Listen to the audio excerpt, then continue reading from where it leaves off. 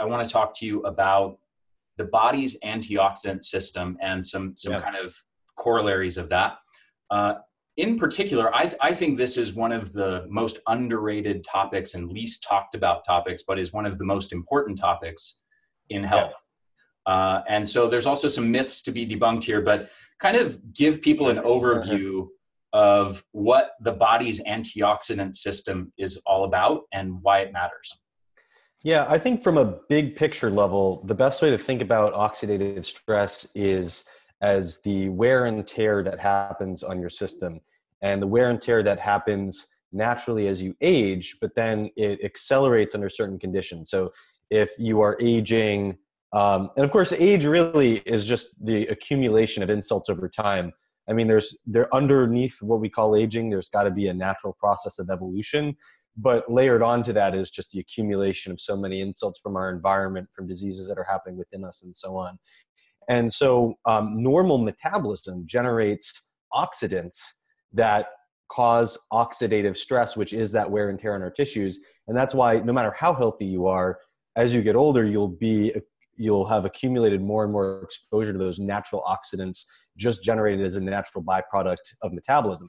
But if you have a metabolic disorder, like if you have diabetes, for example, then because there are inefficiencies in your metabolism and things going wrong in your metabolism, you're generating far more of those oxidants.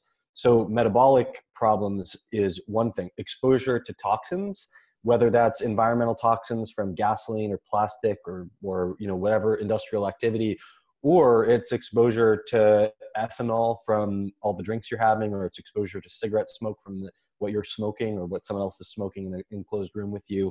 Exposure to any of those things can accelerate um, oxidative stress.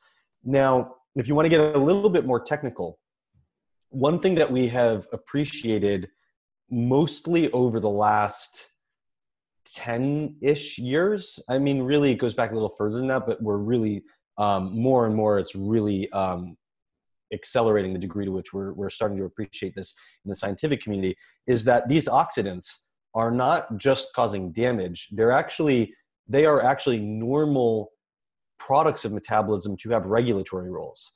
And so if you go back to why does normal metabolism generate these oxidants well one of the things that happens is because a certain percentage of the fuel you burn in your mitochondria are generating these oxidants, they will have feedback loops where if you start generating too many oxidants, then they'll regulate pathways that stop energy from coming into the mitochondria because um, as a feedback loop to prevent damage because they're exposing an inefficiency in your ability to burn that energy and they're shutting down the energy burning to prevent further damage.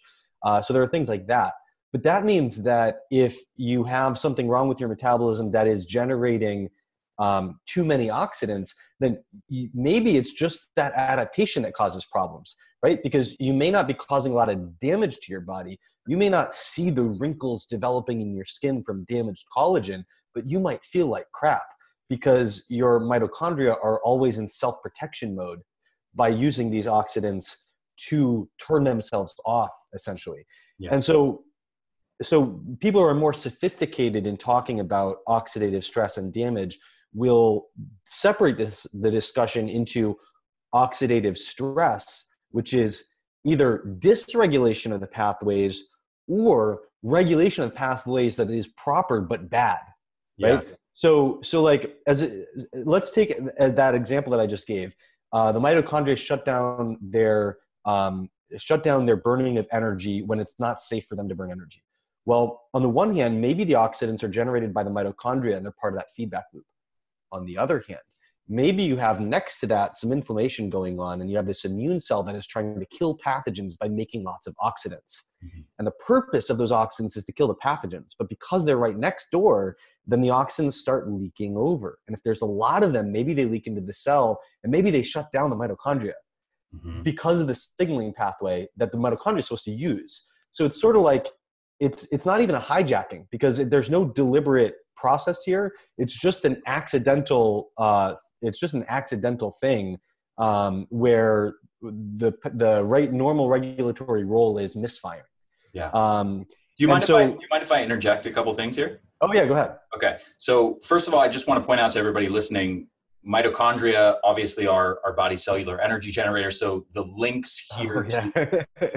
and energy levels should be very clear that you know if if you have this kind of oxidative stress going on that's leading to mitochondrial shutdown you know one of the key symptoms on a subjective level as far as what a person would feel of this happening is of course fatigue um, now i, I want to sort of present a frame to you that I think will be helpful for a lot of people to understand some of these things because probably some of what you just said is, is over a lot of people's heads. Okay.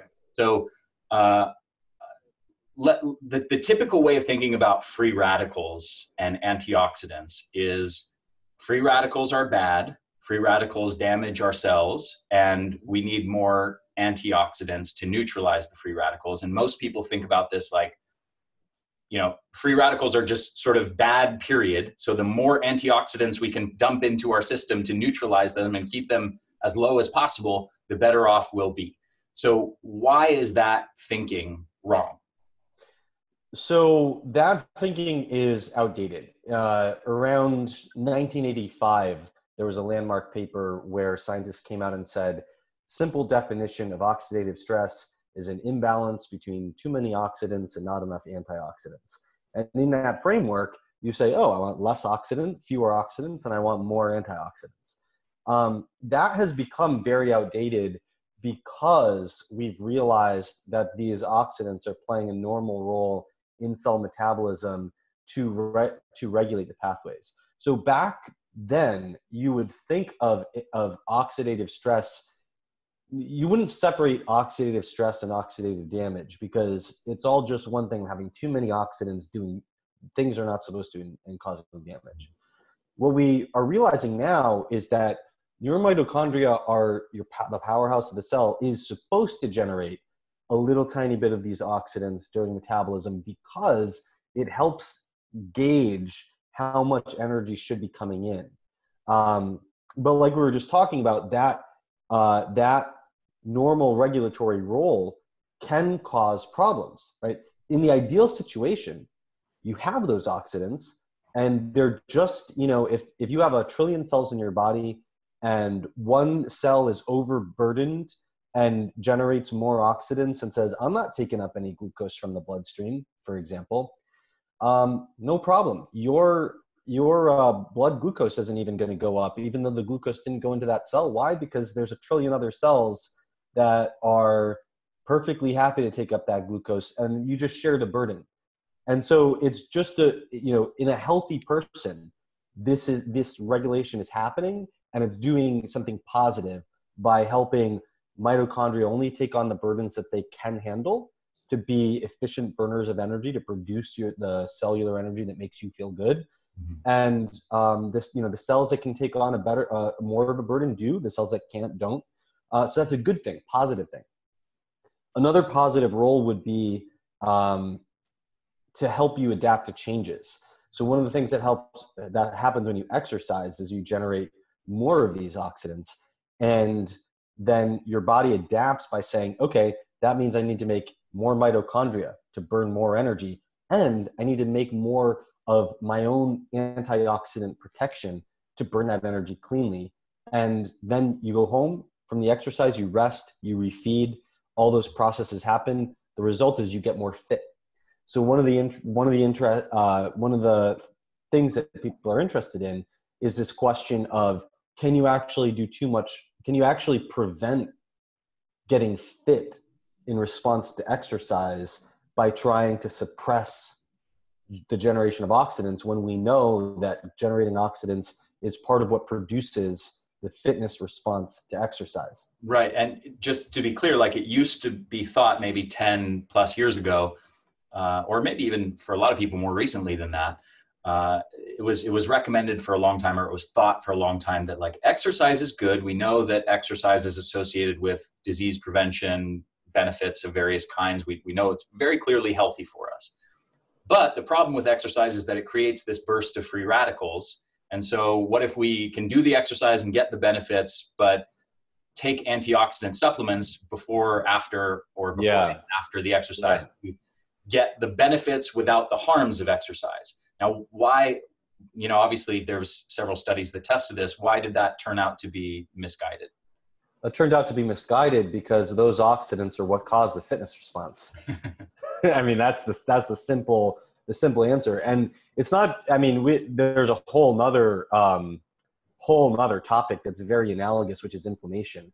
Uh, you know, we, we we are very down on inflammation, and people think the same thing. Like, oh, I will I'll exercise and then I'll load up on NSAIDs, the the common anti-inflammatory drugs that you can buy at the drugstore to prevent the soreness and other the other issues that happen and uh, that also prevents the adaptation to exercise mm-hmm. so um, these oxidants are part of a normal signaling process that help your body communicate what's going on and what to do and so if exercise generates more of them it's because exercise wants i mean you know wants you to be more fit and those oxidants are the signal that communicates that that helps you go from exercise to fitness